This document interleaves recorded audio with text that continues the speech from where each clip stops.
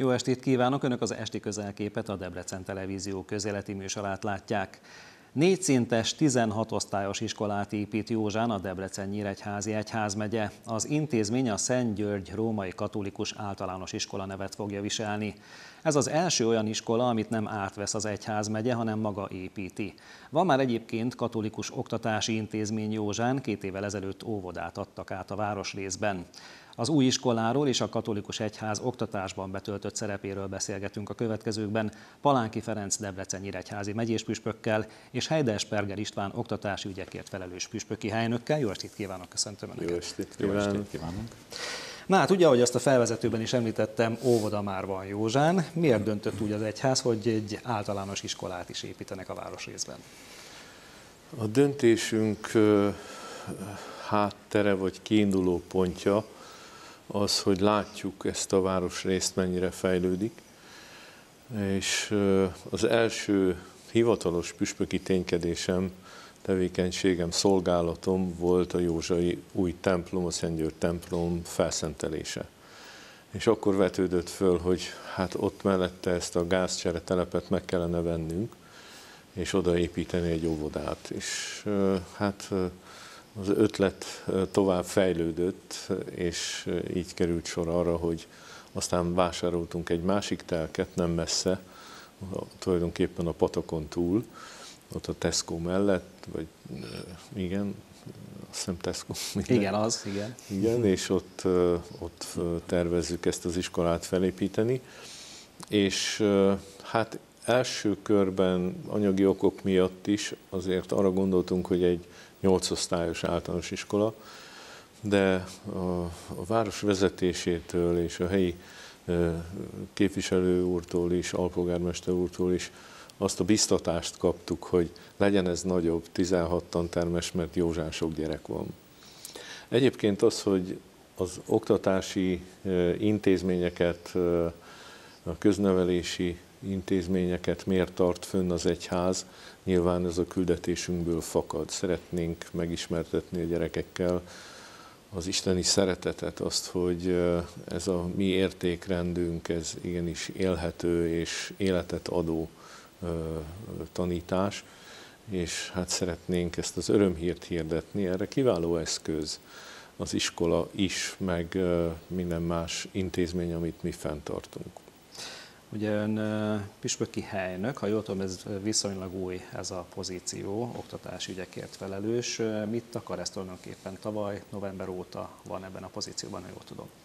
Igen, minden olyan lehetséges eszközzel támogassam a püspökatyát, amelyben az oktatás ügyében bármiféle kérdés felmerül, bármiféle nehézség, látogassam az iskolákat, beszélgessek az ottani tanárokkal, igazgatókkal, és a tíz intézményt egy egységes egészben szervezzük meg a működésüket.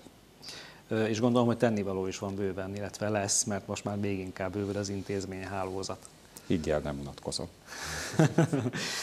Visszatérve itt az iskolára, mm, az, hogy Józsán lesz egy általános iskolájuk az óvoda mellett, az mondjuk az egységes debreceni intézményhálózatba hogyan illeszkedik? Tehát kiegészíti, vagy lesznek átfedések, hogyan kell ezt elképzelni? Amikor elkezdtük tervezni ezt az egészet, akkor egyeztettünk a városvezetéssel, a polgármester úrral, hogy hol lenne igény. De én nem árulok el titkot azzal, hogy elmondom, hogy én a, a többi felekezettel is, tehát Fekete Károly püspök úrral és Kocsis Fülöp érsek úrral is ö, egyeztettem, hogy mely az a terület, melyek azok a területek a városban, ahol esetleg mi is tudnánk intézményt alapítani, építeni, elindulni ezen az úton. És akkor ö, tulajdonképpen akkor esett a választás Józsára, illetve a Borbíró téren ott a templom, ami szintén egy nem régi templom, a megtestesülés templom, mögött építettünk, és ez most ősszel indult be ez, az, ez a gyönyörű szép új óvoda. Tehát így Debrecenben tulajdonképpen mi már két óvodát építettünk, és most ez lesz az első iskola, amit szeretnénk felépíteni, hogy segítsünk a szülőknek, illetve segítsünk a városnak is. Van ennek jelentősége, hogy az iskolaként az első, amit épít az egyház, nem pedig átvesz? Ugye ráadásul saját forrásból. Hát nem csak saját forrásból, állami támogatást is kaptunk. Körülbelül a bekerülési összegnek a fele, ami állami forrásból származik. Az, hogy mik a lehetőségeink, ez azért behatárolja azt, hogy, hogy a következő lépést, hogy merre indulunk el természetesen, tehát annyira túl sok lehetőségünk nincsen, hogy máshol is iskolákat építsünk, de szívesen állunk rendelkezésre, hogyha valaki szeretné rábízni az egyházra az iskolájának a fenntartását. Itt gondolok bármilyen önkormányzatra. Mennyiben tud más nyújtani egyébként egy egyházi általános iskola, mint egy állami? Mit lehet erről mondani? Gondolom, hogy vissza tud emlékezni a tanáraira, a pedagógusaira. És amikor visszaemlékezik, akkor mire emlékezik, hogy mit tanított? Vagy pedig arra emlékezik vissza, hogy hogyan tanította. Milyen volt a személyisége. E, és amikor visszaemlékezik, ezek az emlékek gyönyörű képé állnak össze. Nem fontos az, hogy matematikát, irodalmat, e, vagy milyen tárgyat tanított, de hogy a lelke milyen volt a tanárnak, aki azt a tárgyat tanította. Most ebbe tud nagyon sokat adni, nagyon sok pluszt adni az egyháziskola. Amikor megszületünk, minnyáján vakon születünk meg. És akkor utána kezd kinyílni a világ, eh, kezdünk eh, sötét, illetve eh, szürke foltokat látni. Egyszer csak megjelennek előttünk a szüleink, és megtanítanak bennünket arra, hogy ez a kéz, ami ott van körülöttünk, megmondják, hogy az mi, és aztán szép lassan kinyílik előttünk a fizikai látásnak a világa. Majd amikor három évesek leszünk, akkor elvisznek bennünket óvodába, hat éves korunkban beiratnak bennünket iskolába, és kinyílik előttünk a tudásvilága. És ekkor a pedagógusok azok, eh, akik segítenek bennünket, hogy megismerjük a világot egy teljesen más szempontból.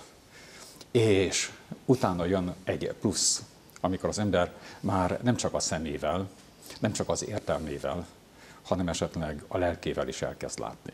És ez már a hitnek a világa, és ez valami egészen teljesen más látást is ad az embernek, nem csak azt, ami közvetlenül mellette van. Mennyire nehéz ez manapság mondjuk akkor ilyen szemléletű kiváló pedagógus találni. Ugye azért hallani, hogy általánosságban hiány van, jó, hát nem is jó pedagógusból, egyáltalán pedagógusból lassan. Úgy gondolom, hogy azért egy viszonylag nagy iskola lesz, ez nem lesz könnyű megtalálni majd a megfelelő embereket. Azt gondolom, hogy, hogy nem ez lesz a, a nehéz. Valahogy az a tapasztalatom, hogy tényleg átvettünk sok iskolát, amióta én nyolcadik éve vezetem az egyházmegyét, és valahogy a pedagógusokban van egy nyitottság, hogy azt az értékrendet átvegyék, a hit világába betekintsenek.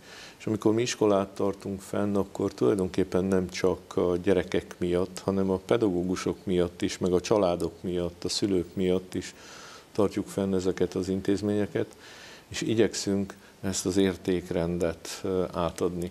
Tulajdonképpen minden ember, ahogy felnőtt vagy felnő, elérkezik egy olyan korba, hogy, hogy föltegye a kérdés, hogy, hogy mi a létezésem értelme, hogy miért is vagyok ezen a világon.